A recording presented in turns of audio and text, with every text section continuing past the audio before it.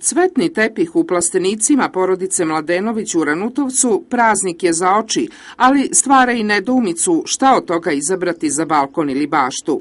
Prodaja sezonskog cveća je počela, a time i nada proizvođačima da će uspeti da vrate uloženo i bar nešto zarade. A ulaganja su neočekivano visoka, počev od oko 50 metara ogrevnog drveta, koje Mladenovići troše samo u jednoj sezoni, jer proizvodnja, odnosno setva, počinje već u decembru.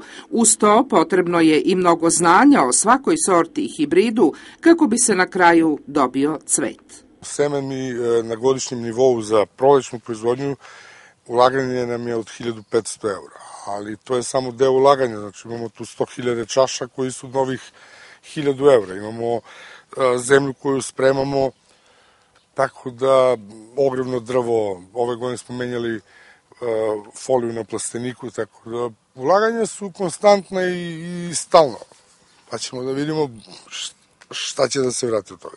Da li će uopšte da se vrati uloženo i da ima nekog profita? Uloženo, uloženo će sigurno da se vrati. Samo je sad pitanje da li će nam to biti dovoljno da i naredne godine uđemo u proizvodnju bez nekih velikih trzavica Zbog ukupne ekonomske situacije većine građana, Mladenović je odlučio da tržištu ponudi cveće čije je cena najniža, kako bi svako mogao da ukrasi okućnicu. Spremni su da pomognu oko sadnje onima koji u tome nisu vični. Pripremili su 100.000 strukova i nadaju se da će imati dovoljno prihoda da i naredne godine zasnuju proizvodnju.